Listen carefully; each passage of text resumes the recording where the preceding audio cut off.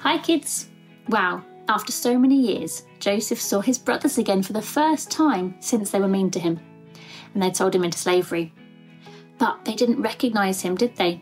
They even bowed down in front of him. Hang on. Does that remind you of something from earlier on in our story? Yeah, yes. God gave him dreams about his brothers bowing down to him, didn't he? And now they're coming true, right in front of Joseph. Joseph's brothers are hungry and they're desperate. He's the only one who can help them. When they last saw him, Joseph was just a scared boy, but now he's the second most powerful and important person in the whole of Egypt. If he wanted to, he could just pay them back for being so mean to him. He could send them away with nothing to eat and no food, or even order the guards to hurt them. But what did he do instead? Help them.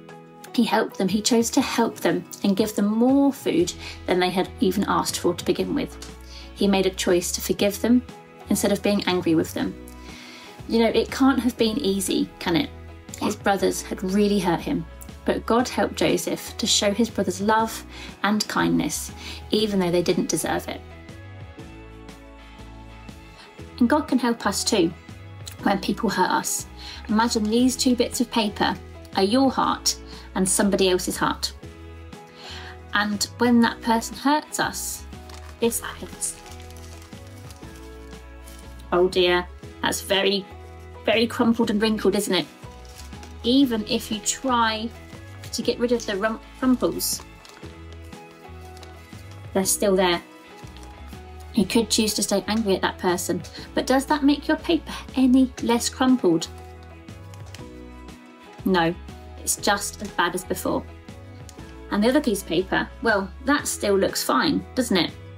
But what about if you choose to pay back the person who was mean to you? And you do or say something to hurt them? Crumple yours.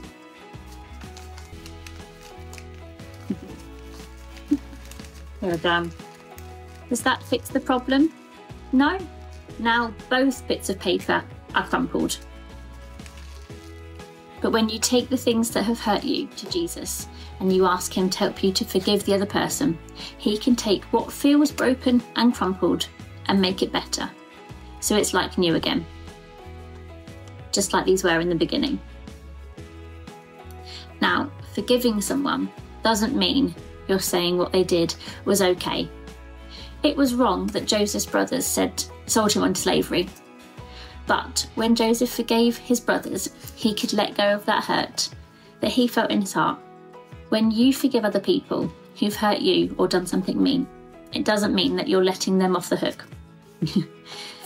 but you're choosing to let go of the hurt in your heart and allowing God to come and heal you.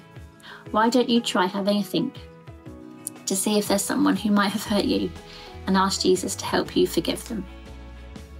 Thank you, kids. Bye.